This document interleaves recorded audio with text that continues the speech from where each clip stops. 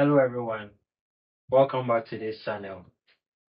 In this lesson, we'll be solving the question we have on the board here and it's under the fluid in rigid motion. The fluid in rigid motion. If today is your first time watching this video, I would like you to subscribe, like, share and also share your comments so that I will get back to you in due time. Let's go back to your question. The distance between the centers of the two arms of uh, a U-tube open to the atmosphere is 25 here. And the U-tube contains 20 centimeters high alcohol in both arms. Now the U-tube is rotated about the left arm at 4.2 rad per second. Determine the elevation difference between the fluid surface in the arms. There's the diagram below to help us solve this question here. So in this question, we have to determine the elevation difference we have here. We've been given some of the parameters. That's we've been given the big R. That's it here. We've also been given the the height of the the fluid, which is alcohol, and that's the original height before it was being rotated. And we've also been given the the angular speed, that's 4.2 rads per second. And we have to determine the elevation difference. So they've given us some key information here that it was rotated about the left arm. So we can we can get some information from there also.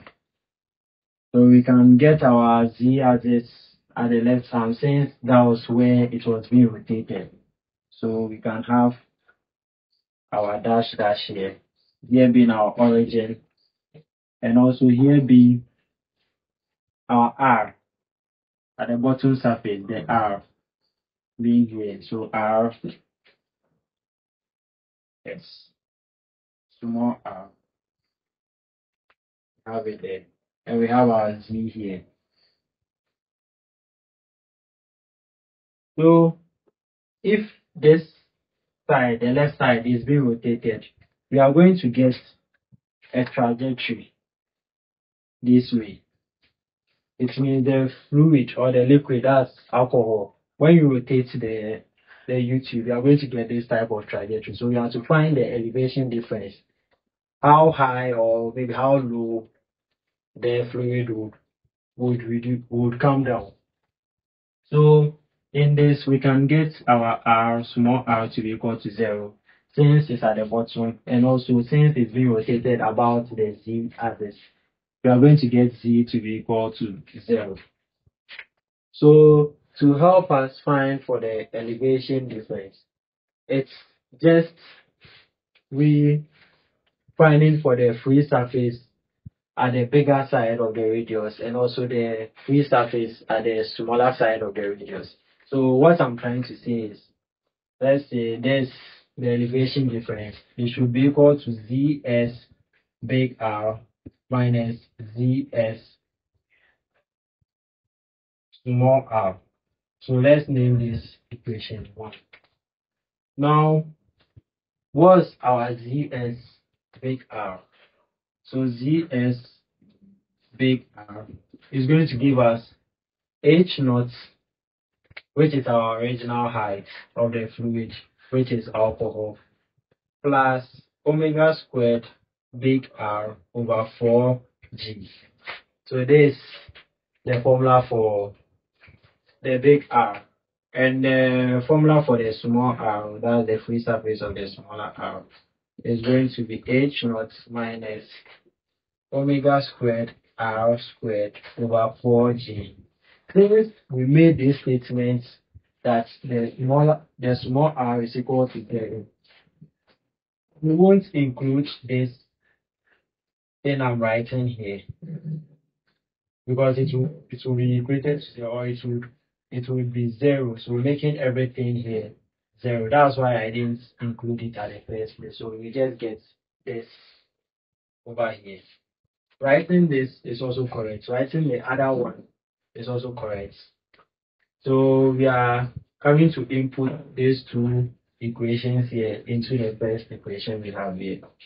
So we have delta H is equal to, we have H naught plus omega squared R squared over 4 G minus H naught minus omega squared R squared over 4G.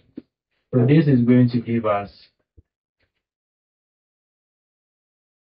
this and this will cancel out. And this computation is going to give us omega squared r squared over 2g. So this is what we are going to get. So now we have every information. We have our omega, which is 4.2. We have our r, which is 25. Yeah, the bigger r. We also have our j, which we know that is the acceleration due to gravity, which is 9.81. So this is 4.2 squared times 25. We convert the 25 centimeters into meters. You are going to get 0.25 squared over 2 times 9.8. So let's compute that on our calculator and see what we are going to get.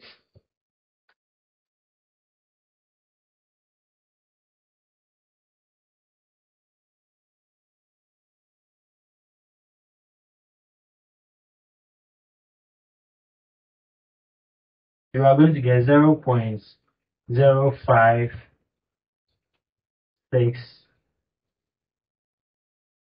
meters. So this is going to be the elevation difference between the two surfaces when it's being rotated about the z-axis at a speed of 4.2 rad per second. This is the elevation difference. Or it's going to be, if you want it in centimeters, it's going to be 5.6 centimeters. Thank you for watching this video. If you've not subscribed to this channel, I would like you to subscribe to this channel for more videos.